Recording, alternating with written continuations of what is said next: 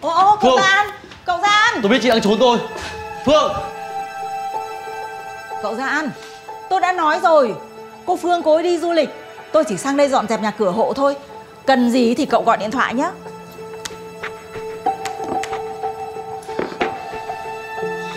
Gia An này Tôi không biết là cậu tìm Phương có việc gì. Nhưng mà Cậu sắp lấy vợ rồi. Cậu cứ như thế này thì ảnh hưởng đến cậu.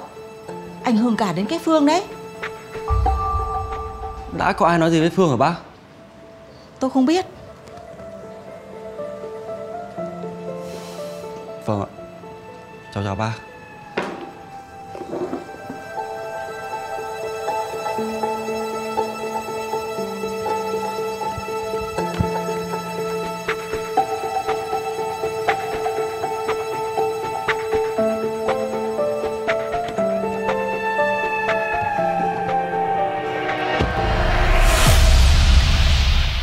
Em đã nói chuyện gì với Phương? Chị ta lại khóc lóc kể lể gì với anh à? Trả lời câu hỏi của anh. Em chỉ khẳng định chủ quyền giữa em với anh thôi. Em nói với chị ta đừng chen vào mối quan hệ giữa em với anh. Chỉ có vậy thôi hả? Tính của em rất xấu, cao ngạo. Nhưng em không phải là đứa dám làm không dám nhận. Em không hèn hạ như thế đâu Em là vợ sắp cưới của anh. Em không thể ngồi yên để chị ta dụ dỗ chồng mình được. Có cần anh nhắc lại cho em nhớ không?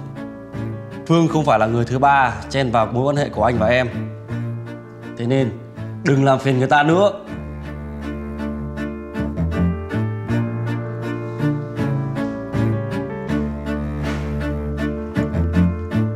Em thấy anh đang rất vô căn cứ đấy. Những lời em nói những gì em làm chỉ đang bảo vệ mối quan hệ giữa em với anh thôi mà. Bà. Đủ rồi nhá.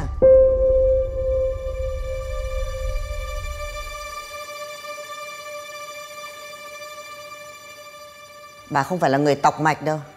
Nhưng mà những lời khó chịu ấy, Nó cứ bay vào tai. Mai anh đi về làm việc đi. Bà có chuyện riêng muốn nói với Gia Đi về. Vâng ạ.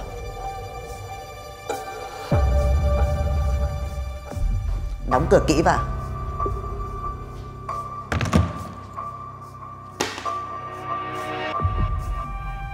Bà. Cháu còn mặt mũi nào mà gọi bà là bà cơ đấy? Bà tưởng ngần này tuổi rồi Cháu phải chín chắn hơn chứ Bà chưa biết cháu với Mai đang nói về chuyện gì. Sao đã vội mắng cháu như thế? Bà không phải là người hồ đồ. Bà còn biết cả chuyện Phương đấy.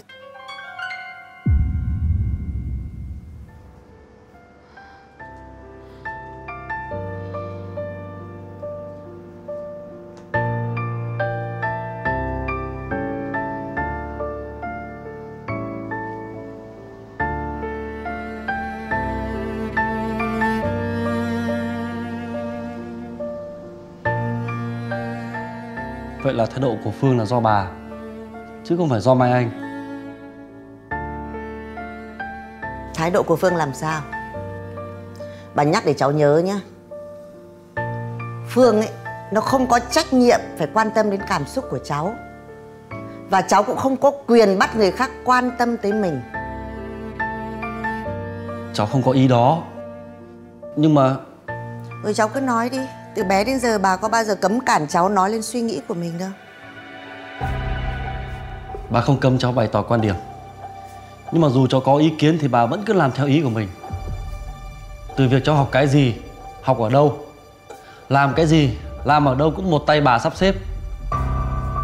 Chẳng lẽ bây giờ tới việc hôn nhân hạnh phúc của cháu bà cũng một tay quyết định?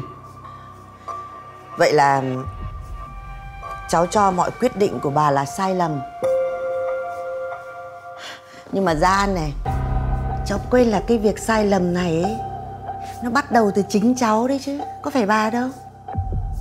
Việc cháu và Mai Anh ấy, đấy là do lựa chọn của cháu Là kết quả cuộc sống tự do và phóng túng của cháu. Bà chỉ là người sắp xếp lại cho nó đúng thôi. Vì bà không muốn cháu của bà mang tiếng là kẻ bội tình bạc nghĩa.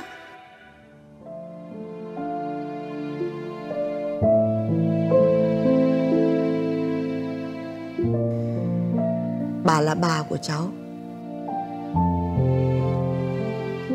Bà là người thân duy nhất của cháu. Tất cả những quyết định của bà Chính là vì quyền lợi của cháu đấy chứ.